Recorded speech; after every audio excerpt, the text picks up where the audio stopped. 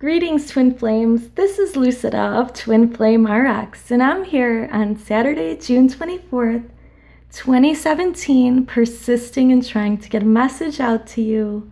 As you can see, I've already laid out some cards because I shuffled them several times and tried to do this reading a few times already. I'm going to make it short and sweet though, because it seems like the dark side is trying to block my message, but I'm not giving up. So I want to let you know that today, Saturday, June 24th, 2017, we're just coming out of this period where we just had the solstice. We had the longest amount of sunlight on the planet in North America the longest day of the year. And followed by that, last night we had a beautiful new moon in Cancer. This is a time for us to manifest our desires. I put you all on a list that you may manifest your third dimensional twin flame union. This reading indicates the energies of the divine feminine, masculine, and union, past, present, and future, that they are we are being led into our union with our beloved because the overall energy is the three of fire. So the three of fire is basically that union between ourselves, our beloved, and the divine. And what we have for the divine feminine is that she has just or he has just been through a transition period in their in her life or his life. Okay, so a big transition, big changes the near future or the present energy, I should say, is that the divine feminine's in the king of water energy. So mastering her emotions or his emotions. And in the near future, the divine feminine is going to be in this queen of water energy where he or she is loving herself. And we know when we love ourselves, we attract more love to us. The divine masculine in the recent past has been inspired with the star energy, waking up to a new life. Okay, so I'm making it short so I make sure to get the message out. There's still the divine masculine, whether they be male or female, in the energy though of rules and being strict where cause has an effect or you know effects are due to causes and following universal laws very strictly thinking before they act. But in the near future, the divine masculine is going to receive that call, the call of their soul, realizing that they're a part of something bigger than themselves, realizing who their beloved is, and moving toward their beloved for that harmonious union. What we have in the recent past for the energy of the union is that of the Ten of Water. So we found our peace and serenity as twin flames in our 5D connection or even in a 3D connection, but realized where the peace lied within. The six of fire is being fired up for this journey. That's our present energy. We're being called to be in the limelight, to shine our light for the world to see, to be that light worker that you are, standing up for injustices in the world and standing up for what is right and what is true, and that that is you shining your light for your beloved. But as a union, the energy is bringing us into that, into that um, space. And finally, the last card here is the Messenger of Earth. So, the Messenger of Earth card, I am going to read that because that is where we're headed toward with our union. The Messenger of Earth energy is telling us that we are going to be hardworking, we are going to proceed with integrity, perseverance, and grit, that we will be prudent and careful in our efforts, but thorough, industrious, and have stamina and dedication. We will, in our union, be this energy that we are in the flow. We are committed to co creating with Spirit effectively and efficiently. We will do our best. We will never leave a job half done. We are dedicated and determined, and we know our efforts will pay off. believe me, I had such beautiful messages that got cut off.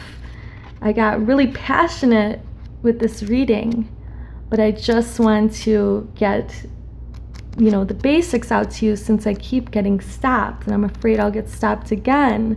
This has been happening to me the last few weeks that the messages that I want to give are somehow being stopped and I believe that this is happening I truly believe that this is happening because all of us are getting so close to union that the dark side is trying everything that they can to stop this from happening. Because us light workers, us twin flames, are here to bring light to the planet for the ascension of the planet and the, you know, the 5D earth this means that us light workers, we're not just tarot carders, astrologers, healers in those senses, but we're people that are bringing light to injustices in this planet or on this planet. We are people that are helping to save animals and the climate and the planet from self destruction. So it's not just about doing, you know, these readings on YouTube or you know, talking about unconditional love. It's being the love and being the change that you want to see in the world. I'm going to read the message of the Three of Fire because that was that overall energy. Basically, the Three of Fire is saying that we are now in an energy of expansion of opportunities, the fullest of creativity and achievement, that we are on the right path toward our success, toward our twin flame union in the third dimension, that we have an abundance of opportunities before us we need to trust ourselves because we can make good choices for ourselves and co create situations and relationships that are in harmony with our heart's desires. Okay, I finally got through the message. I'm so happy.